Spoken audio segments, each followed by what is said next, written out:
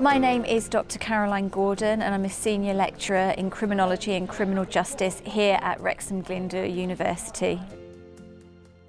So criminology is about looking at a whole different range of theories and explanations for why uh, people commit crime. The criminal justice element actually looks at how the different agencies, criminal justice agencies and organisations work together and respond to crime. I chose to study at Wrexham Glyndŵr University because the lecturers I met on the open day, amazing, probably the best I've ever met. I felt treated as a student more than a number when I was talking to them. The course is really interesting because we get loads of speakers in, so from probation and from police, especially because it gives you more opportunities for thinking about your career.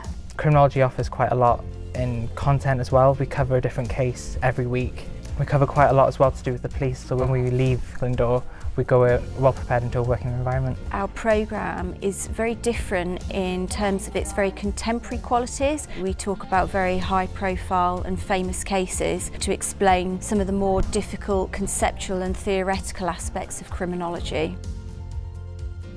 I would definitely um, recommend Wrexham Glyndŵr University um, for the small community we have here.